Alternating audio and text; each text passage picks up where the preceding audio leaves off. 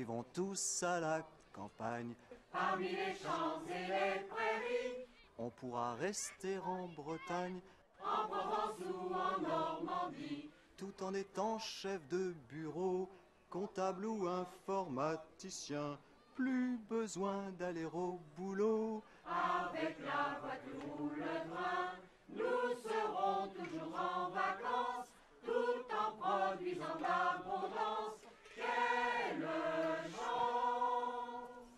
d'avoir trouvé la solution pour les nouvelles générations.